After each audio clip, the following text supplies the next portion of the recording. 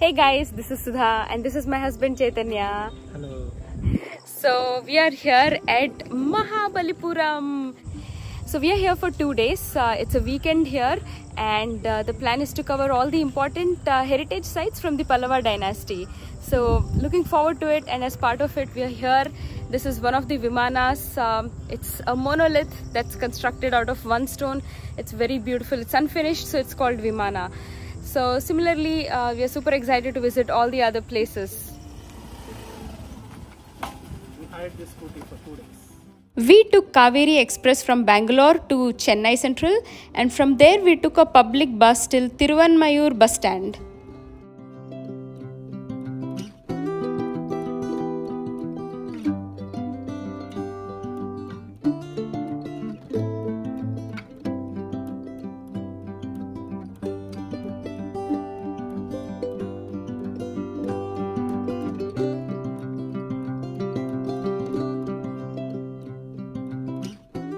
We got a direct bus from Tiruvanmiyur to Mahabalipuram and the ride was extremely beautiful.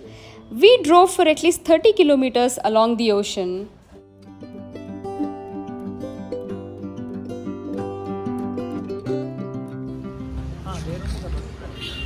We just got down in Mahabalipuram bus stop and that right there is Arjuna's penance. Mamallapuram, also known as Mahabalipuram, is a town in Chengalpattu district of Tamil Nadu. This was one of the two major port cities in the Pallava kingdom. The town was named after Pallava king Narsimhavarman I, who was also known as Mamalla. The relief was created to celebrate the victory of Narsimhavarman I over Chalukya king Pulakesin II. The descent of the Ganges and Arjuna's penance are portrayed in this stone. What we see here is a herd of elephants that has come to drink water from river Ganges. On top of the elephants, uh, we see different gods and goddesses that have come to bless Arjuna. We can also see Arjuna in a penance state in order to attain weapon from Lord Shiva.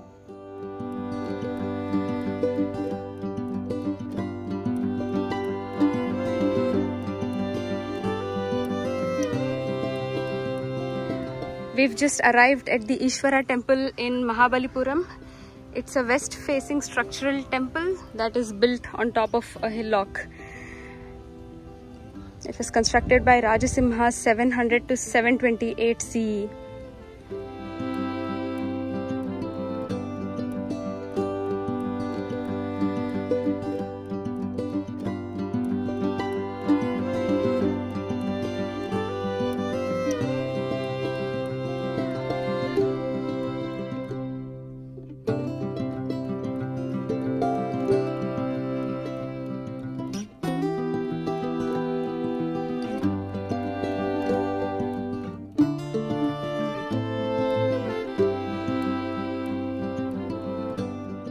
Have now arrived at the Mahishasura Mardini Mandapa.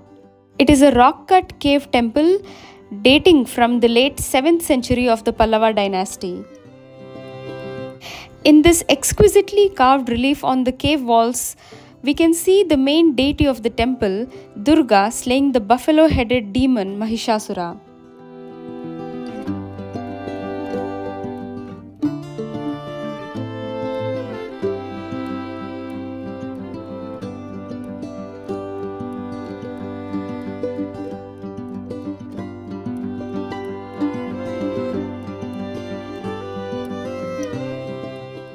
This carved relief shows Vishnu reclining on the seven hooded serpent Adisesha. This is Mahabalipuram Lighthouse. It became fully functional in 1904. India's oldest lighthouse, built around 640 CE by Pallava king Mahendravarman I, stands next to this modern structure.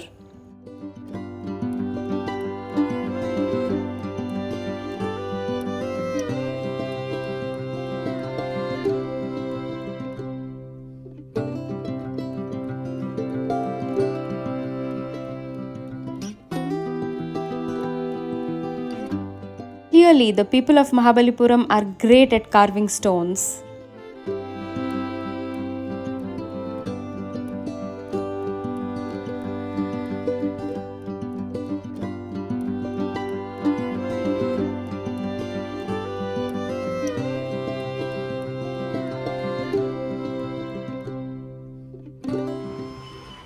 We've arrived at the Pancharathas and this is the first Ratha which is called the Draupadi Ratha. This is the panoramic view of this place. This is the inside of the Draupadi Ratha. This is the Arjuna Ratha. Dharmaraja Ratha. So here are the five Rathas. This is one, two, three, four, and five. This is the Nakula Sahadeva Ratha. Each of the five monuments resemble a chariot and each is carved over a single long stone or monolith of granite. All these are unfinished structures.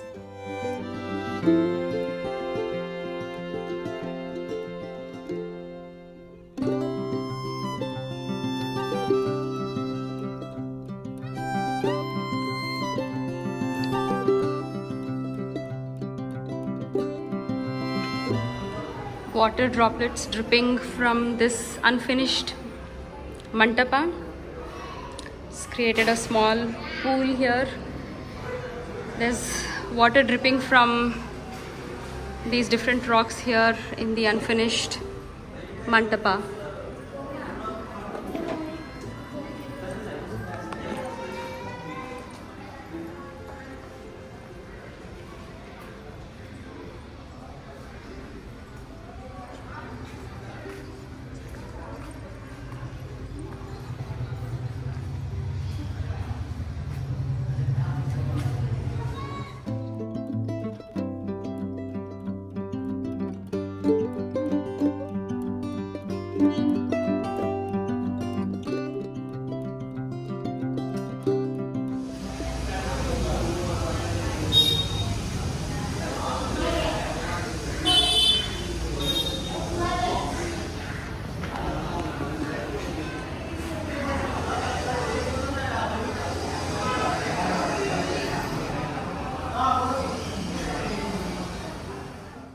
What we see here is Krishna lifting the Govardhana hill on the finger of his left hand to save the people from a deluge caused by rains showered by Indra.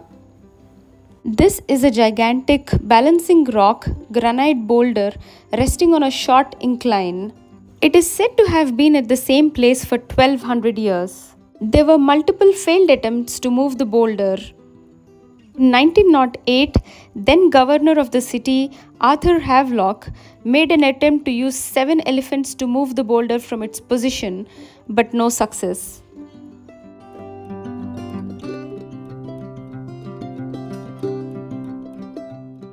We've now arrived at the triple celled rock cut shrine.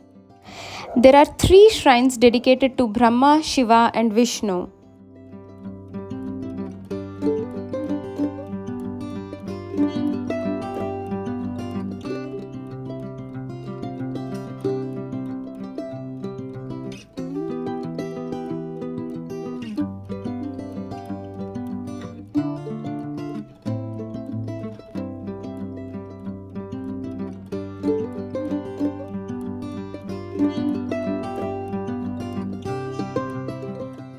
This is the hotel we stayed at in Mamallapuram.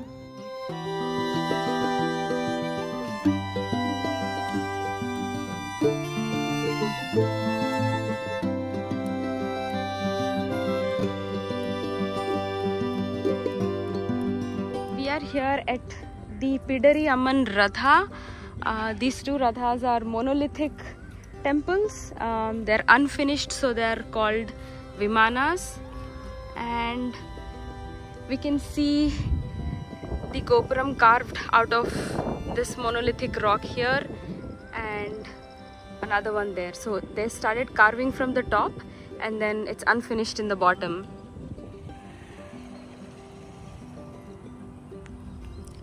Smile.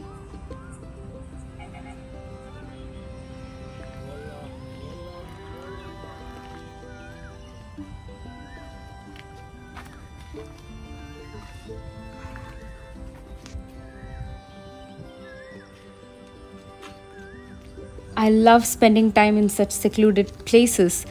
and nature without any tourist activity, we can only imagine how this place looked 1400 years ago and the tools they would have used to carve such beautiful monuments of architecture.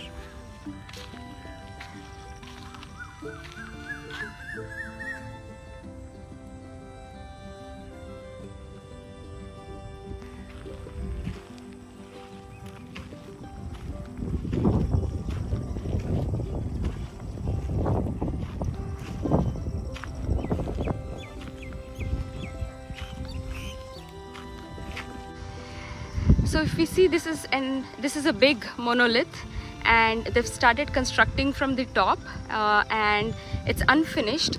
So this is supposed to be a temple but then because um, they this is unfinished the archaeological survey of india suggests calling it a vimana instead of a temple because it's not consecrated.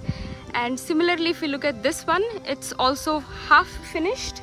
Um, on the other side it was uh, we had some steps to get in but then there's no um, idol of any god here um, in both of these unfinished temples.